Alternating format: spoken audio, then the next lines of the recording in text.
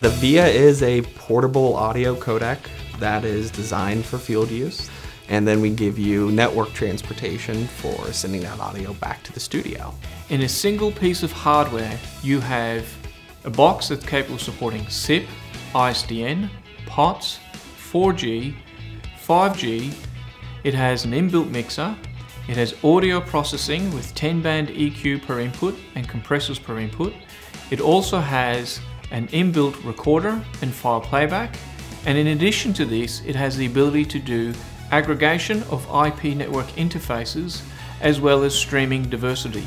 And this is all within one piece of hardware.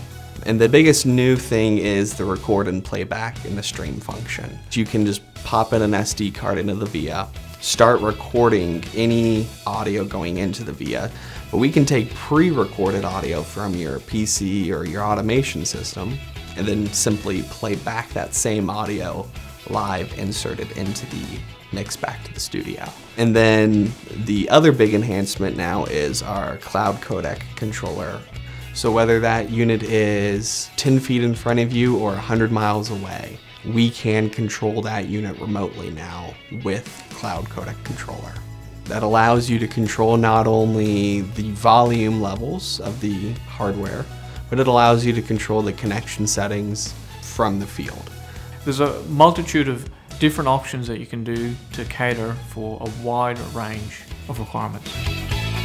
Implementing the VIA has made my life a lot easier. It has really just made it like an all-in-one solution and turn it on and it goes. You recall the profile and it just works. I would recommend it to anybody just because it's been so reliable. So that's the big benefit with the VIA is you get not just an audio codec, and that's what Tieline's known for, but you get that recording, the playback function, and then like I said, the mic processing as well, all within one little box.